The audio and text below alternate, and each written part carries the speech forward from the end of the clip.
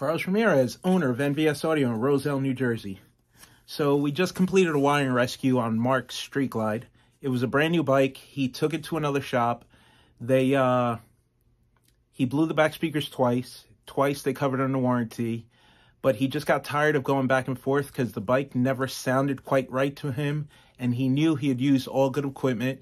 So he's running Rockford DSP, Rockford amplifier, Hertz speakers in the fairing, and Hertz speakers in the lids.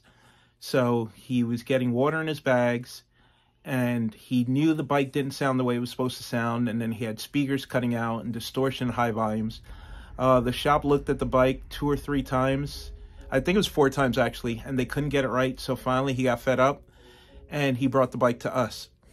So the first thing that we didn't understand is they charged him to do the install then when he realized he couldn't take the saddlebags off because they just ran the wire to the speaker through the saddlebag and up to the fairing with no quick disconnect, when he went back, they actually charged him $150 to add quick disconnects to the job that they had originally done.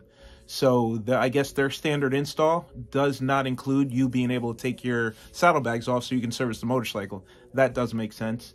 Then the other crazy part to me is Rockford literally is one of the first companies to come out for, with products specifically for motorcycles.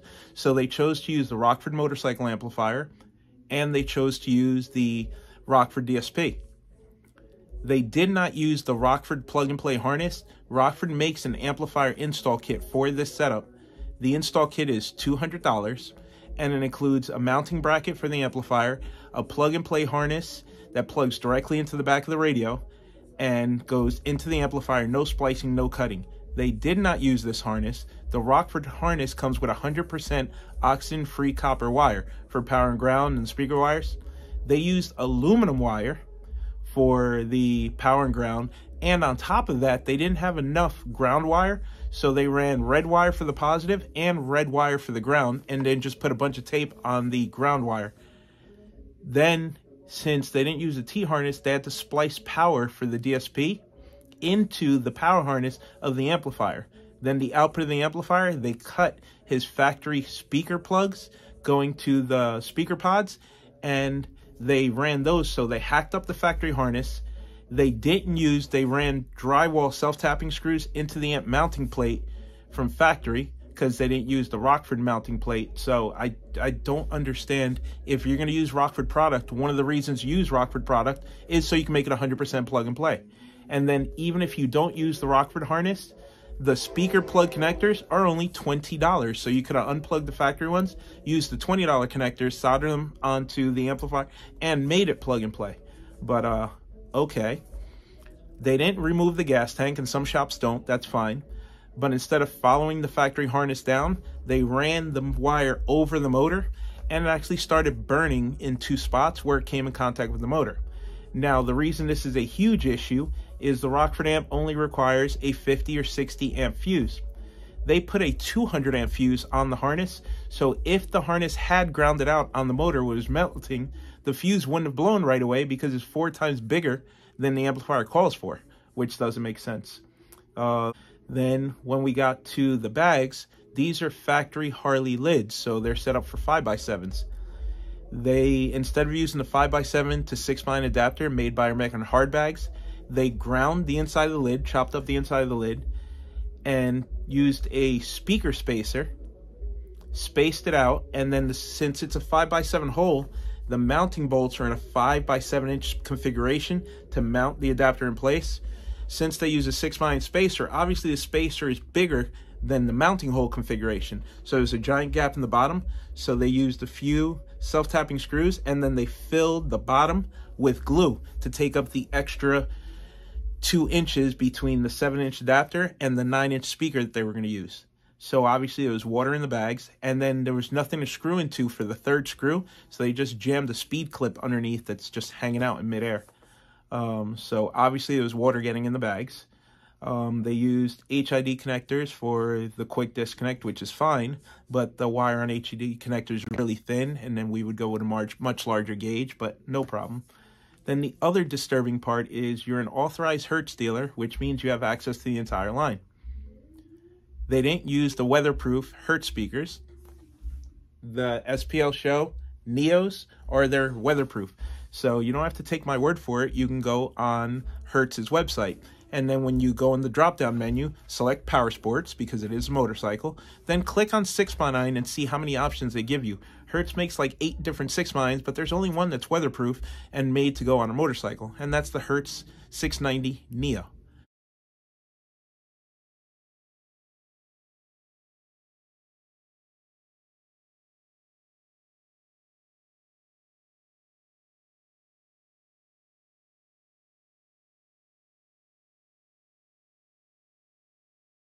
So they use the Mille Pro 6 mine, which is not weatherproof, and that's why the customer had to swap 6 mines twice because water was getting in the voice coil and destroying the 6 miner. In the front, they used SPL Show, paper cone, not the Neo. The issue with that is the speaker doesn't have a tweeter in it. So the correct speaker to use in the front is the SX165 Neo, because it has a tweeter. So now the bike has tweeters in the back and no tweeters in the front. So of course it's not going to sound right. So we went over the build. We were going to have to replace the power wire, speaker wires, RCAs. We were going to have to install a T-harness for the DSP. We were going to have to put a new fuse holder in we weren't going to be able to use the rear six nines because they're not waterproof. So we would have to upgrade those to the 690 Neos. The front speakers don't have a tweeter, so we're going to have to upgrade those to the SX165. So the only thing we're going to be able to reuse is the amp and the DSP. By the time you add our labor, it came out to the same price to just go with an NVS Audio Stage 2, which is the 6 9 speakers, fairing speakers, and so we just removed everything so he can try and get a full refund from the other shop and went with our full stage. That way we were able to give him a more powerful amp because he was running a 400 watt amp. We're now running an 800 watt amp and I know that's the amount of speaker power that these speakers like. So uh, we documented the entire install and then we'll show you exactly what we did and why we did it. So now we have a uh, PVC amplifier mount, waterproof amplifier mount that we're able to mount down without drilling any holes. We securely mounted the 800.4 to the rack. We securely mounted the DSP to the speaker pod. We ran all oxygen-free power and ground wire, RCAs. The bike also was not flashed, so at anything past half volume, the amplifier would just shut off. And if you if they were using a Rockford amplifier, if you go on Rockford's website, it tells you 14 and up Harley Davidson, you have to flash the radio.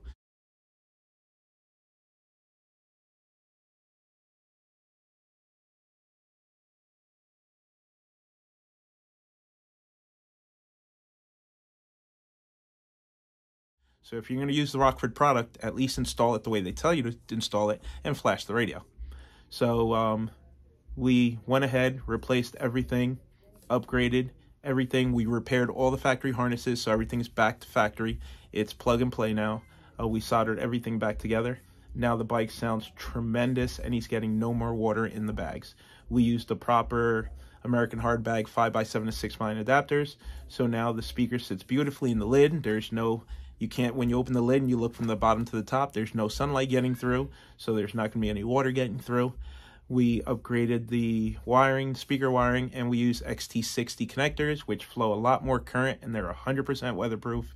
No chance of water getting in the connections, and the bags are serviceable. Everything is as it should. We removed the gas tank and ran all the power and speaker wires down the backbone, replaced the backbone cover, and reinstalled the gas tank, so you don't have to worry about the wires burning on the engine when the engine gets hot. It's uh, just take a little bit of time, take a little pride in your work, and you'll have a returning client for life, hopefully.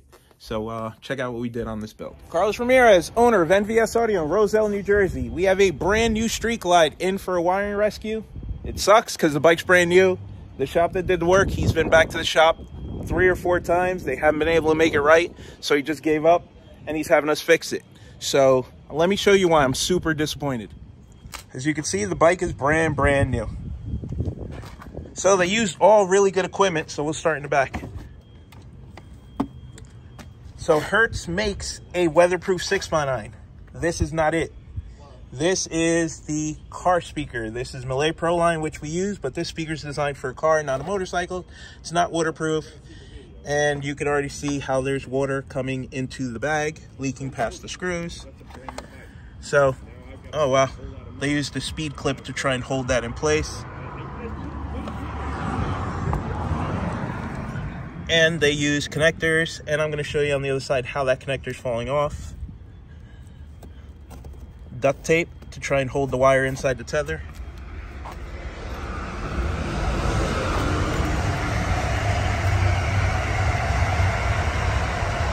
that connector is already falling off. See how easy that was?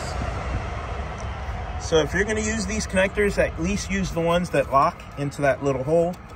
You can get them on Amazon. But um, these are the wrong six nines. You're supposed to use the SPL shows, and these have a really heavy magnet, so it adds weight to the lid. Wrong six nine. So now this is where the issue is. Rockford and Rockford. So my first issue is power wire and ground wire. They used both red and then they just taped it all the way down. So now uh, they jumped power. Since they didn't use a T-harness, they jumped power for the DSP off the amplifier. That's why there's a yellow wire going in with the power wire. Okay, extremely upset that you guys cut all this wiring, man. Uh, they use aluminum wire instead of oxygen-free copper. So the wire is aluminum. I'll prove it to you in a second. They cut the factory speaker harnesses. This is the pink and pink and black.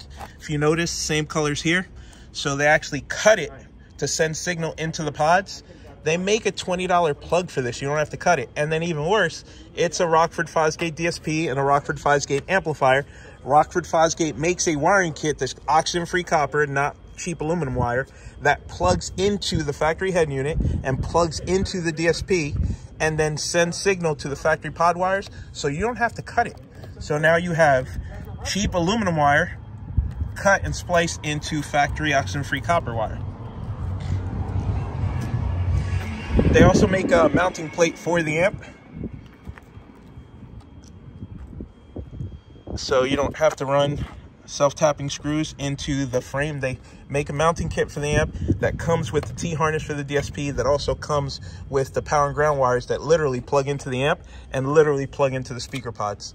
So they did all of this for nothing, chopped up the harness on a factory bike when the parts are available. It was actually, you can see right there how the wire is CCA, which means it's aluminum, not copper.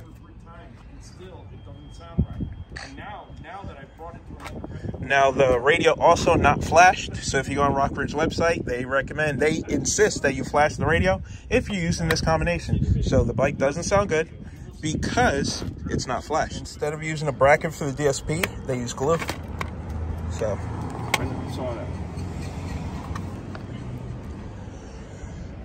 All right, I'm gonna cut all this open. We're gonna repair the harness and I'm gonna literally show you the parts that make this a plug and play install on this bike. So this bike came with factory 5x7s. Instead of ordering the American Hardbag 5x7 6 line adapters, they screwed and used Dum Dum to put this 6 line spacers in and then used self-tapping screws to hold it in place. Then, since it wouldn't line up, they installed a speed clip because there's nothing for the screw to screw into here because it was actually going to the cable assembly and you wouldn't be able to open the bag. So that's wrong. So we're going to have to convert that and it's after all this, it still leaks water. But then the biggest problem is, is the car speaker. If you notice, there's no rubber boot to keep water from going in there. Because if you put in a rear deck in the car, you're not going to get water. This is a motorcycle speaker. The SPL show is weatherproof and see the rubber gasket so water cannot get into the voice coil. The clients replace those speakers twice because they keep getting water and them getting destroyed because it's not the right speaker. This is the proper speaker for this application. Made by the same company. Flip that speaker over. Same exact company. Both made by Hertz. That's the Mille Pro car line. And this the SPL Show weatherproof motorcycle line. Okay, so here's where we have a major problem. So instead of running it in the backbone, they ran it around and over the motor and it actually started melting. And now it's fused, but the issue is this amplifier uses 60 amp fuse and there's CCA wire, a copper clad aluminum. It's not uh, oxygen free copper. So, so it's sitting on top of the motor burning and the fuse would not have blown because this is supposed to have a 60 amp fuse. They put a 200 amp fuse. You don't have to take my word for it. Go on Rockford Fosgate's website and they'll tell you 60 amp fuse or 50 amp fuse.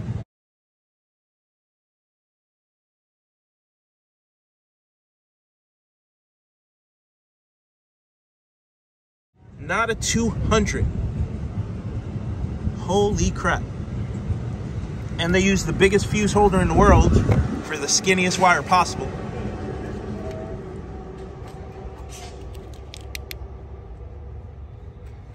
This is where we're running the wire, and we're so that way it's protected, not on top of the motor like that.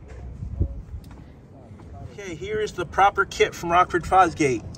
It's Rockford Fosgate kit, Harley Davidson 14 and up.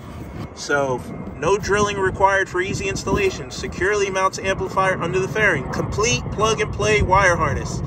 And it's element ready. So comes with a T-harness. This is the amplifier mount. So it uses the factory screw holes to hold the amplifier in place in the fairing. This is the plug and play harness for the radio. Victor, plug this in. So this is how easy it is. Instead of chopping up and splicing the customer's harness like this, you unplug the factory radio harness, you plug the new harness in, flip it. You plug the radio harness back in. And now your DSP plugs in here, grab the DSP. So off the DSP, you plug into the input side of the amp, lift the amp up so we can see it.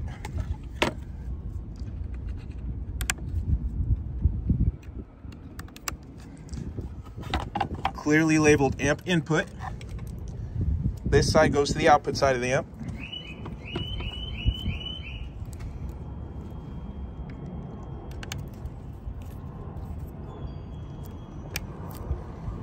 Put it down. Remote turn on and then the plugs that are left go into the DSP. This is how easy it is. If you're not using a DSP, this plug goes through. P, we unplug that. If you are using a DSP, now it plugs directly into the DSP.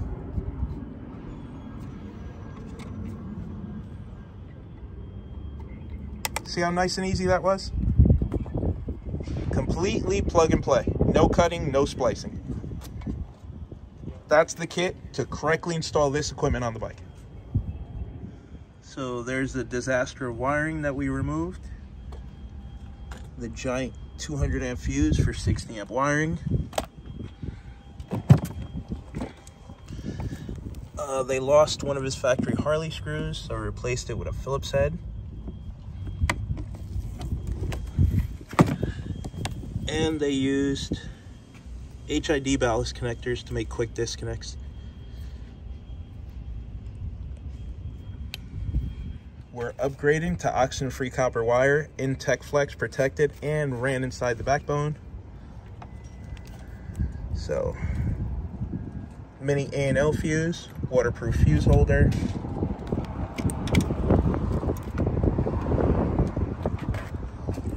PV's installing the waterproof PVC amp mounting plate using quarter 20 hardware.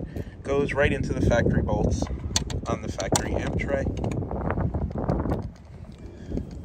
sound digital amp, HCAD mini DSP, T-harness, so none of the factory wires are cut, and we've already repaired his factory harnesses. Factory plug is soldered back together. Now we'll just test tape it, and this will plug into the factory part right here. All plug and play, no cutting and splicing. So you can see the factory harness has been repaired.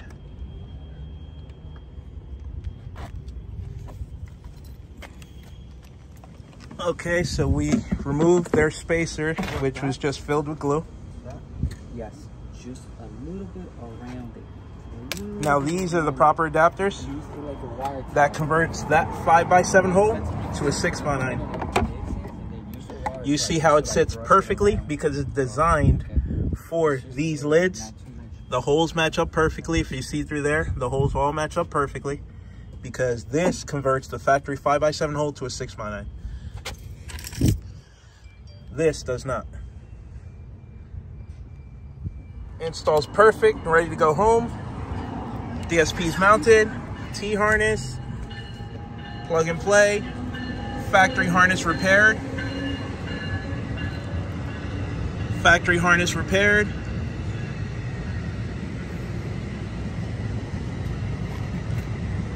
solid install.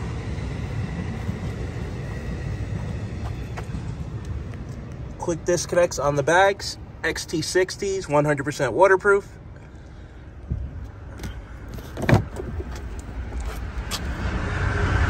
Five by seven to six line adapter. Gasket in between. Wires soldered.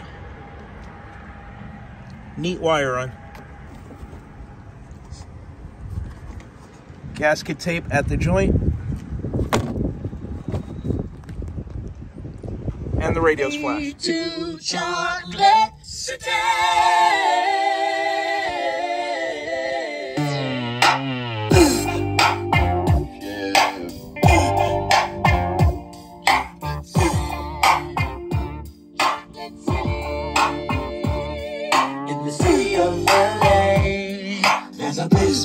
Where the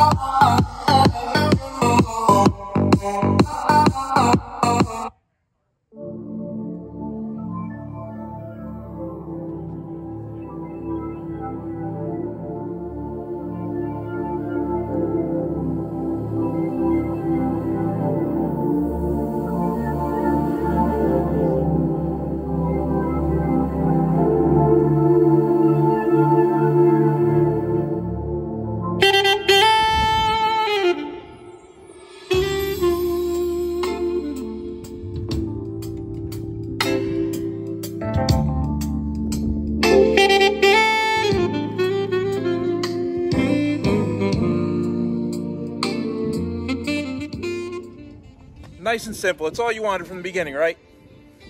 Wonderful. Thank you. Thank you, Carlos.